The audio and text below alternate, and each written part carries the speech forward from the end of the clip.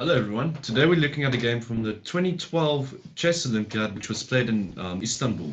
And this is between the strong South African IM Mr. Watu Kobese and Kiril Dimitrov Georgiev, a guy that's nearly a, a super GM, so very, very strong opponent. And we we have an e4, knight to 6 we have an Alekhine with e5, knight d5, and simply knight f3, and d6 contending for that center, and a sideline, bishop c4.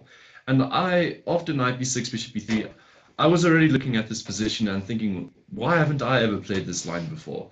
Um, because usually I, I end up pushing these pawns into the center.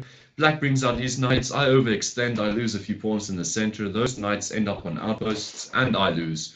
So, okay. First, I was impressed by this sideline. Now, knight c6.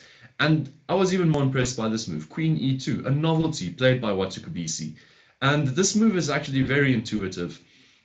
Um, it's it's just guarding this pawn for the center, but it's also closing up the center, which we'll see for practical reasons is very necessary in this in this game. Um, if you, for instance, just take this pawn, I don't believe this queen is that bad. Trying to get rid of it with F, through f6 will just open up this diagonal, and black probably just needs to try and trade off queens immediately.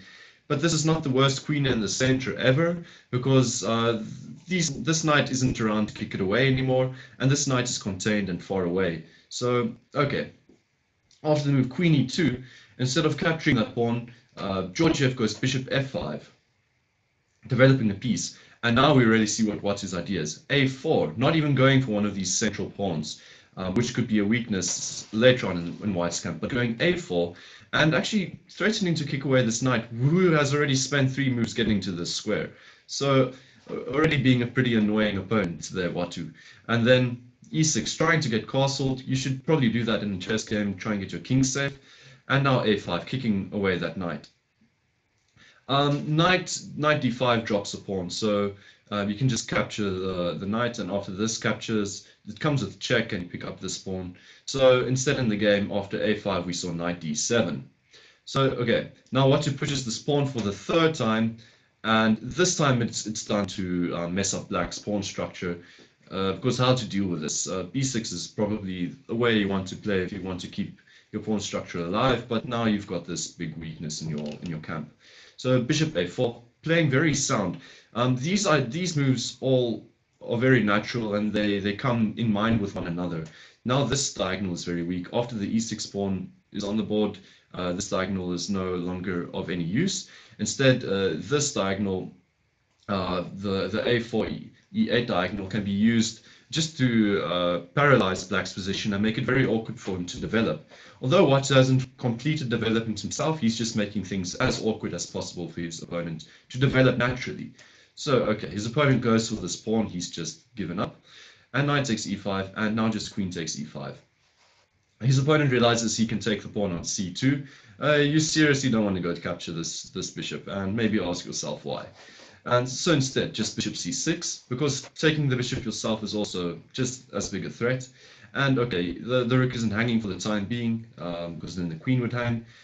And black could actually go uh, black could actually go for uh, bishop c5 now, trying to get castled. And this is, this is according to the computers, the best way to have played this this position. Um, I'll get to why it's possible. Uh, if white goes d4, trying to play with tempo against this bishop, black can simply castle immediately. And now white needs to get rid of the knight uh, because it's not pinned anymore and the queen's under attack. So getting rid of the knight, black can simply go queen takes. And in fact, this bishop isn't hanging uh, because of queen d1 checkmate. So uh, bishop, uh, after, after bishop c6, bishop f5 was uh, really the strongest option here for Georgiev to go. But since white has been playing such uh, paralyzing moves and making it as awkward as possible for black to develop, this type of development would have required a lot of calculation. And so uh, Georgiev goes for something that's even more awkward, but more straightforward to play. Just bishop f5, and he wants to prepare f6 just to kick away the queen and then free up his position. Uh, but now Okay, nothing's threatened, so Watu just develops a piece. He also, this knight is actually stronger than this bishop, so he uses the opportunity not to trade this piece. Also, the knight can come into the, the game now and uh, target c7.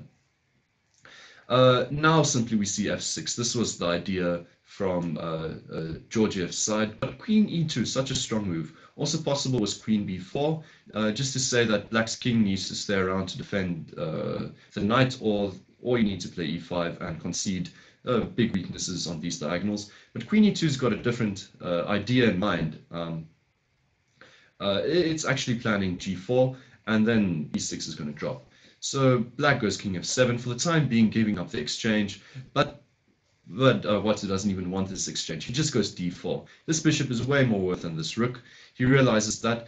And d4 is another paralyzing move and taking away the squares of this knight and also possible good squares for the bishop and saying that black's development is very awkward. And now we see uh, rook c8. He's deciding to hold on to the exchange and it's actually at this point uh, that he shouldn't have. He should have tried uh, bishop g4 instead and now he gets crushed. Let's see how. Okay, simply Watu castles. Um, always a sound, sound idea. And now knight b8. You can realize that this knight didn't have any other squares to go to. Knight b8 is kind of necessary if you want to start play on the d file and, and start bringing your pieces out. Um, but simply bishop b7. Watu decides that he doesn't want to fianchetto the bishop on g2. He wants to fianchetto it uh, right in your camp, uh, close to your rook, where you can always recapture your rook. So he fianchettos his bishop, and now bishop b4. A safer bet would have been bishop d6, but small nuances. Now Watu goes for his idea, finally g4 uh, and bishop g6. His idea of going g4 was to go d5, and these two ideas also go in mind, and we see Watu actually has a very holistic idea of, of which moves fit together with which other moves. Um, instead, okay, this is just a computer line, but instead of uh, a stronger idea instead of uh, e5 would have been to go after this pawn on a7, which would mean that you've always got this pass pawn and probably the rook is definitely lost.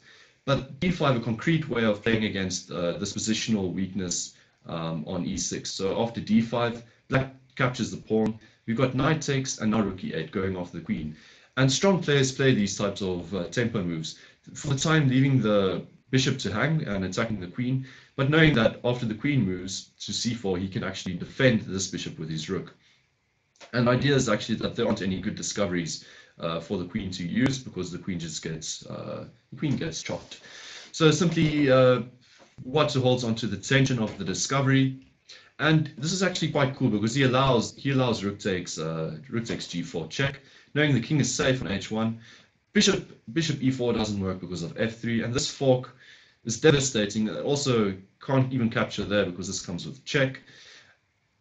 And you're getting slaughtered on these light squares. Uh, so don't don't even try that check yourself, because uh, it's actually in fact black that's weak on the um, on the light squares.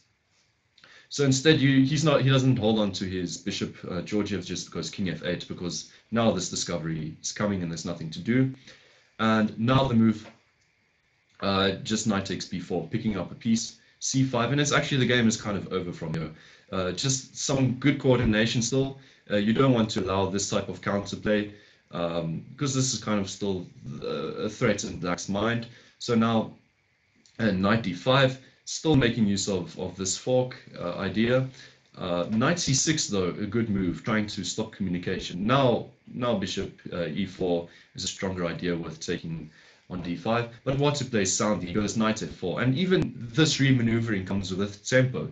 He's coming to e6, and this is a devastating move to have to deal with. So simply queen d7 in the game, and he finds a way to tra trade down queens, queen e6. And this isn't just the queen trade, this also still bears in mind that he can pick up the rook. Uh, capturing the queen now would walk to check and then taking the rook, so you're going to be down a lot of material. So bishop f5 is there to hold on to some material. Tactically, this doesn't work though. After bishop takes c8, and Watu is a tactical genius, he just goes for this. Uh, the idea is that, okay, you can't capture the queen first because of knight takes with check, and you can always recapture. And then black has traded down even more material. So instead of the bishop takes c8, you need to try queen takes c8, but then simply just queen takes c8 check, bishop takes c8, and f3. And the game is, is swiftly over from here because now what is up full rook? And okay, maybe black could have resigned, but uh, there's sometimes players make blunders. We all know that. Um, you don't. You've got the right to continue playing. Uh, so, uh, sorry, c4, king f2, Um, it is rook g1 check. It's in this position, sorry, uh, that Watu finds a clever way to pick up a pawn uh, after king h7. He just takes the pawn on f6. Uh, you can't recapture the, the bishop because of uh, this checkmate in 2. A, a, very cool way to pick up a pawn, bishop takes f6. So just rook f7, uh, bishop c3. And the last time something is threatened on the board, just make sure you don't lose that knight. King e3, and bring your last your rook into the game. Now your upper rook definitely your rook is in the position. Black's feeling it after knight c6 and bishop takes g7 and resigns. Point being that okay, white is just coming in into the position and there's no stopping this. You can't even go uh, rook takes g7 because of this uh, rook d7 check and white trades down and he plays up a bunch load of material a great game by our international master Watu Kobese, really just a chess legend and coming up with such a nice novelty. I'm definitely going to employ this in my own play. I hope you enjoyed uh, the video and uh, remember to hit that subscribe button like you would hit the chest lock. just smash away at it and I'll see you guys soon for another video. Enjoy your day.